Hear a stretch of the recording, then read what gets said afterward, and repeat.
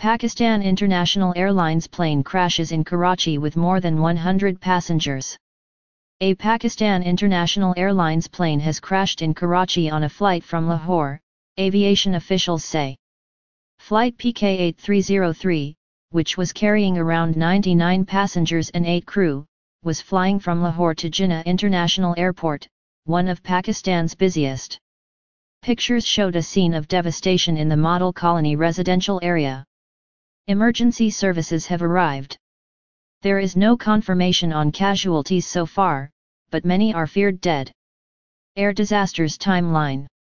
The plane, an Airbus A320, was about to land when it crashed near Model Colony, a neighborhood of Karachi about 3.2 kilometers, 2 miles, northeast of Jinnah International Airport.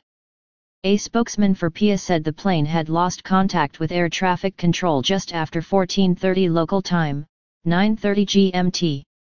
Pakistan's army said soldiers from its quick reaction force had reached the crash site to help rescue efforts.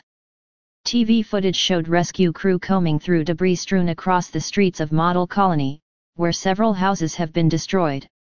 The Chief Minister of Sindh, the province where the plane crashed, has declared an emergency in all of Karachi's hospital.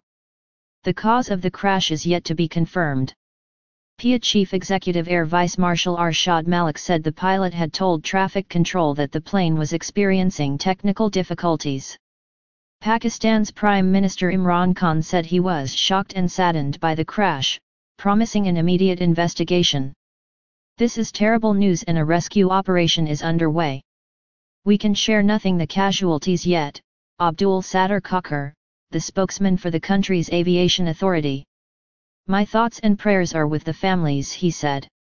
Social media posts by journalists showed footage showing plumes of smoke and flames rising from the site of the crash. Witnesses said the plane appeared to attempt to land two or three times before crashing near the airport. Local media said a rescue operation was underway and emergency workers had arrived at the scene. Pakistan's military tweeted that army helicopters had been deployed to assess the damage and to take part in the rescue effort.